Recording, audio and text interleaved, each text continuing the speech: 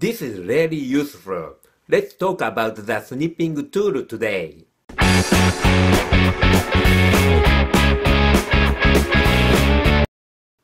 Hi, this is Mike Negami, Lean Sigma Black Belt.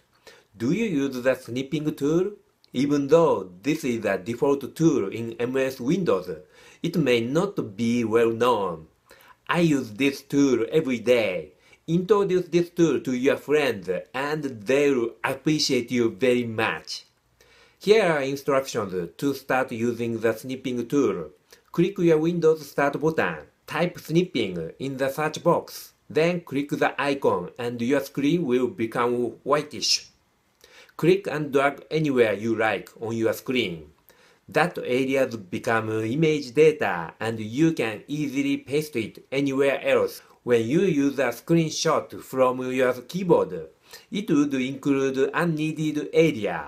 I like this tool more because I can snip only the area I need. I'll introduce this tool's very useful applications. I use it most when I explain something such as data or analysis in an email. I snip and paste the subject that I'm explaining about below the explanation. When you snip something on a spreadsheet, if you include not only cells but uh, also their headings as well, then you can use cell addresses in your explanation. For another application, let's say you are reading a long article online. When you are reading towards the end and want to refer the data table that appeared at the beginning, instead of scrolling the page up and down, just snip the table and put it by the area you are reading. I also use this tool often when I have to interrupt readings for something else, so I record the last sentence as a bookmark by snipping the area.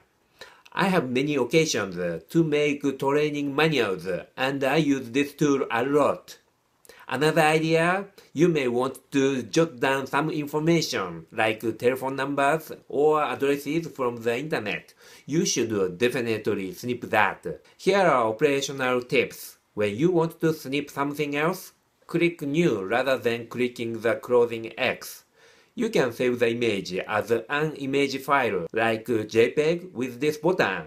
I make image files of my videos thumbnails by this very tool.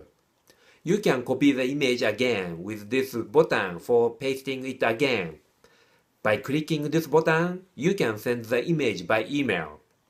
Since you can use this tool every day, right-click on that icon on the taskbar below and select Pin this program to taskbar. Then you can start using this tool just by clicking the icon from now on. What do you think about this tool? I'm sure there are more application ideas.